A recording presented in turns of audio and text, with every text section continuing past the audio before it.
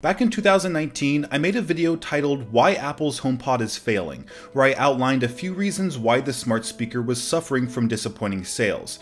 Now here we are in 2020, and the product no longer exists at all, with Apple deciding to discontinue the HomePod a couple weeks ago.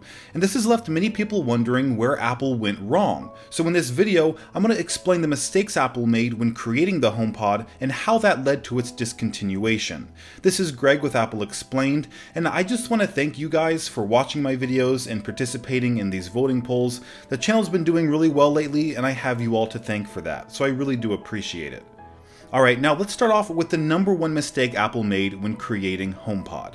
They focused too much on sound instead of smarts, although their logic did make sense. When the product was introduced back in 2017, the smart speaker market was dominated by Amazon and Google, who also happened to have the most capable voice assistants. Since Apple was stuck with Siri, they knew HomePod wasn't going to be the smartest, but it could sound the best.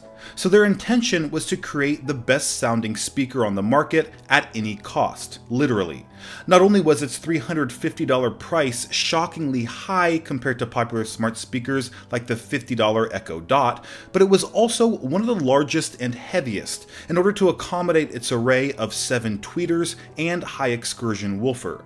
Now you might be thinking, well, Apple wasn't trying to compete with the $50 Echo Dot, they were actually competing with high-end smart speakers like the $300 Sonos Play 3. And while that is technically correct, it has no practical bearing on customers who were shopping for a smart speaker. It turned out that they cared a lot more about what the product could do, opposed to how good it could sound. This has been an issue plaguing consumer speakers for many years, whereas headphones seem to avoid it. The AirPods Pro and AirPods Max have sold extremely well, despite their high price tags of $250 and $550.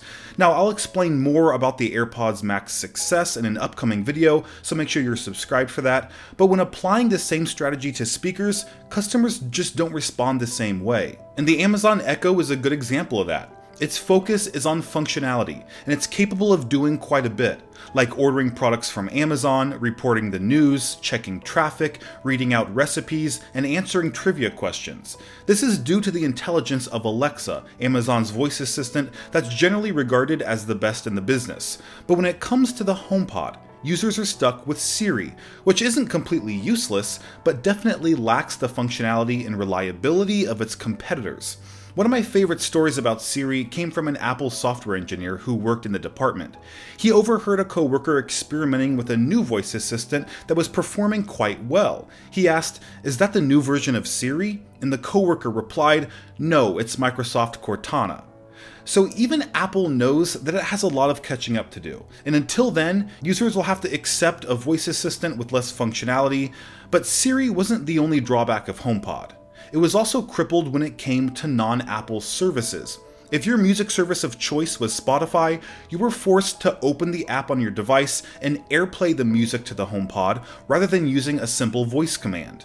Now that's changed in the past year, with Apple allowing users to set third party music apps, but it wasn't available for the first three years of the HomePod's life, which meant the product was even less capable than its competition, who offered integration with services like Pandora, Amazon Music, SiriusXM, Spotify, Audible, and Apple Music. Another way in which the HomePod was limited was through HomeKit. One of the selling points during its introduction was the ability to control smart home devices using your voice, but you couldn't just purchase any smart home appliance. It had to be compatible with HomeKit, Apple's smart home software framework. The problem with that was there were hardly any HomeKit appliances on the market, and the products that were available cost a lot more than others compatible with Amazon Alexa. So with the HomePod's high price, low functionality, and poor compatibility alienating most smart speaker customers, they were left pinning their hopes on one group in particular, audiophiles, or people who are passionate about high fidelity sound and aren't afraid to spend more on a speaker with superior sound quality. But the issue here was that the HomePod couldn't be plugged into anything. It only streamed music wirelessly, and that was a big problem for audiophiles who typically only use wired interfaces. So Apple was left with a product that had no real market. Sure, Apple fans like myself didn't hesitate to buy it despite its shortcomings, but that isn't enough to achieve the type of success Apple was striving for. Sales of the HomePod were disappointing, capturing just 6% of the smart speaker market.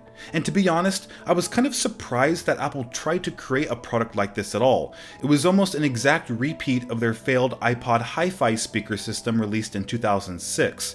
It had the same $350 price, the same compatibility limitations, and the same lack of functionality.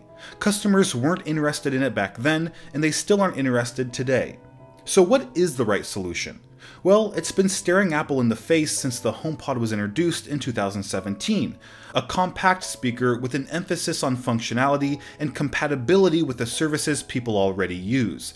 That's exactly what led to the creation of HomePod Mini, a much more compact smart speaker with a focus on functionality over sound quality. Out of the box, it's compatible with third-party music services like Pandora and Spotify. They've added useful functionality like intercom and seamless handoff with the U1 chip, and there are way more HomeKit-enabled appliances to choose from, which also happen to be more affordable than the offerings in 2018. But the most important change is the HomePod Mini's $100 price. That puts it in direct competition with the Amazon Echo and Google Nest, which is exactly what Apple needed in order to appeal to the average smart speaker customer. Now, there are no sales estimates for the HomePod Mini yet, but once the data is available, I expect to see some big numbers. The Mini was sold out at almost every retailer during the past holiday season, and it's already said to be contributing to a bump in smart speaker sales overall. So while Apple missed the mark with the original HomePod, they were able to learn a few valuable lessons, which resulted in a much more competitive and appealing smart speaker that's poised to be a big hit. Alright guys, thanks for watching till the end. Don't forget to subscribe to catch an upcoming video about the success of AirPods Max.